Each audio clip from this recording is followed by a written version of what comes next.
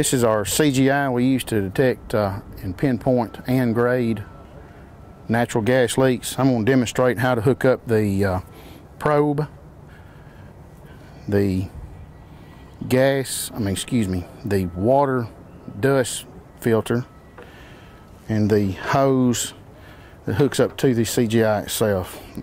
First thing you always want to do is install this filter onto the probe bar.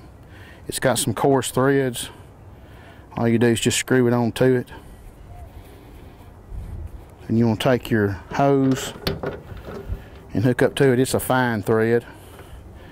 You just want to screw it into it as well.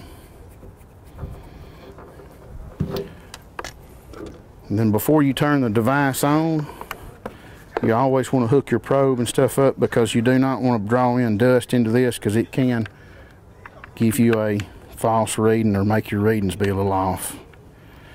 And then when you get ready to turn it on in warm up stage, you always flip it to auto zero first and it runs through a self check. It checks the sensor, it checks the pump to make, and it also checks the batteries to make sure everything's working like it should. Takes about two or three minutes for this cycle to run. If you'll see, it does show gas one on it. That's the sensors that it has in it. It'll say gas 2 for the next sensor.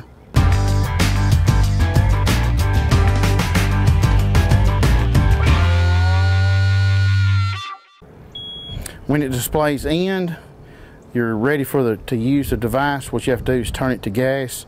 But if it ever shows no go, then the device is out of calibration or something is wrong with it. You do not need to use it.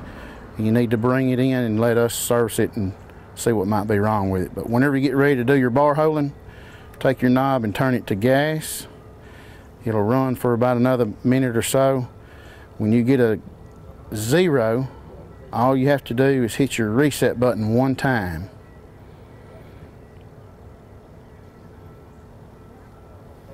And when it pulls up your zero, mash your button one time and it will display go and it turns the pump off and now you're ready to start bar holing.